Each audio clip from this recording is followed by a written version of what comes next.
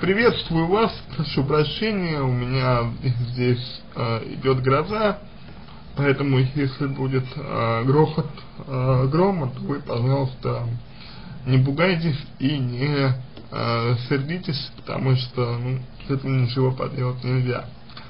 А, думаю, что эксперты, которые уже ответили вам на ваш э, вопрос, в принципе, в целом правы. Но мне бы хотелось немножечко, э, немножечко другой стороны э, поговорить о том, что у вас происходит. Вот смотрите, э, мужчина имеет определенные взгляды на жизнь, определенные взгляды на то, какая должна быть женщина у него, какая должна, как она должна себя вести, что она должна делать. Мужчина проигнорировал ваш, э, вашу просьбу, э, значит, вашу просьбу давать, давать вам э, больше удовольствия в сексе, давать вам больше внимания в сексе, мужчина проигнорировал это.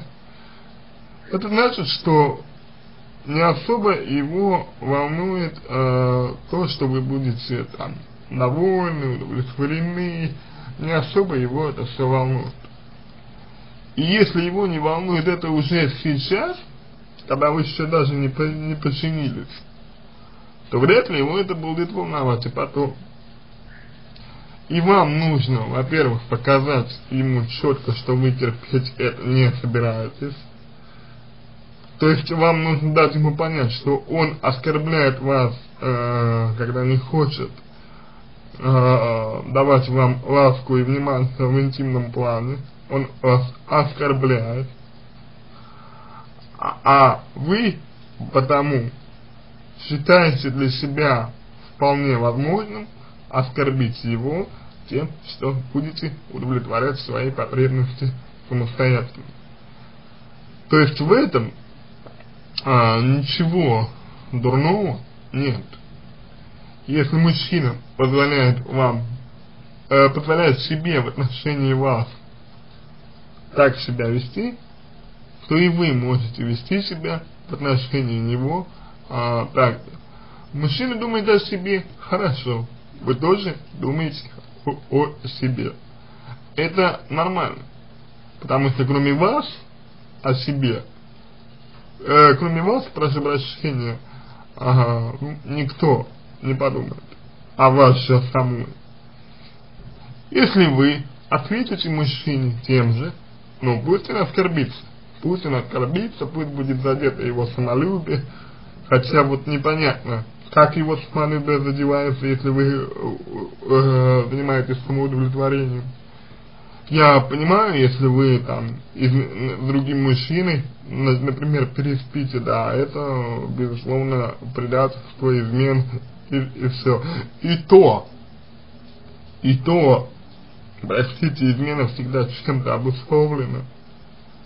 И обусловлена она зачастую именно такими вот казусами, когда мужчина не хочет свою женщину удовлетворять, почему-то считает, что она должна для него на свои желания наступать э, и терпеть. Женщина, может быть, и стала бы терпеть, так вопрос, ради чего? Ради чего терпеть, если мужчина не дает никакой надежды, что в будущем что-то изменится? Поэтому в этом контексте, я думаю, вам нужно быть э, предельно последовательным в своих желаниях. Потому что, ну, я надеюсь, вы понимаете, что если вы не будете удовлетворены, то э, вы не будете счастливы, вы не сможете полноценно получать удовольствие от жизни, отсюда будут проблемы, может быть, даже э, в физическом плане, вот эта вот боль внизу, животе, внизу живота, о которой вы говорите, это та, сам, та самая а, что на первом, ну, в первую очередь выступает. И совершенно непонятно, почему а, вы должны ради а, мужчины это терпеть. Ну, не хочет мужчина секса, ладно, это, в принципе, его право. Ну, не обязательно заниматься классическим секса можно а, как-то по-другому удовлетворить свою женщину, если а, она просит, а мужчина, допустим, там, не знаю, не хочет например. Но у вашего мужчины даже таких желаний нет. И вот это хуже всего. Его не волнуете вы. Его не волнует, чего вы хотите, его не волнует, что вам важно. И отсюда я хочу сказать. Вы пишете, что э, мужчина в остальном, вот в остальном, мужчина э, хороший. Вы пишете, что мужчина во всех остальных э, аспектах вас э, полностью удовлетворяет. Вот вы и решите для себя хотя бы начало, что вам важнее. Либо э, секс, хороший, качественный секс, но в ущерб там каким-то другим аспектам. Либо э, все, кроме, кроме секса, а в сексе придется себя как-то ограничивать. Понимаете, а вам нужно для себя вот этот вопрос решить. Ответьте себе на, на него, что вам важнее. И когда и если вы себе на этот вопрос ответите, то вы сразу поймете, что вам делать. Но объективно, если а, вам важны важен секс, и без секса вы жить не хотите, то отношения нужно заканчивать по крайней мере, мужчине нужно совершенно точно рассказать, что вы такое терпеть не будете. И все. И на самом-то деле оскорблением является для женщины, я имею в виду, даже то, что, что она себя удовлетворяет сама при наличии у нее мужчины возникает такой а, вопрос тогда, а зачем мужчина? Ну, все остальное, в принципе, вы можете сами получить. Заработать вы можете сами, я уверен. Там что-то еще тоже вы можете сами сделать. Зачем мужчина тогда ну Вот а, этот вопрос вам нужно решить. То есть, по большому счету, а, ответ на ваш вопрос, что делать, можно разделить на две части, основные части. Первая часть это попытка реализовать э, все-таки вашу позицию. То есть ваша позиция, я имею в виду э, попытка все-таки удовлетворять, э, удовлетворять себя самостоятельно, э, без мужчины, да, э, чтобы, ну, в общем, э, ему было хорошо и чтобы вам было хорошо.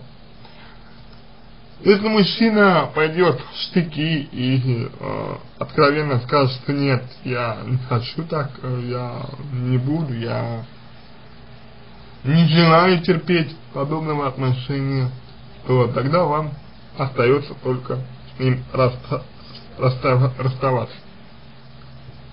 А, я не думаю, что я э, скажу вам э, что-то новое, если отмечу, что подобное поведение является эгоистичным, неуважительным э, и, вообще-то говоря, оскорбительным для вас, в частности для вас.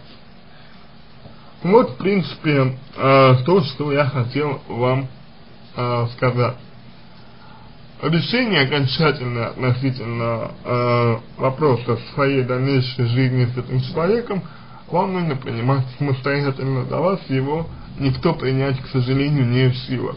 Я надеюсь, что вы примете его верно, я надеюсь, что э, если у вас э, дополнительные вопросы появятся или остались какие-то вопросы, вы напишите мне в личку, я вам помогу. А если вам понравился мой ответ, буду благодарен, если сделаете его лучшим. Желаю вам всего доброго и удачи.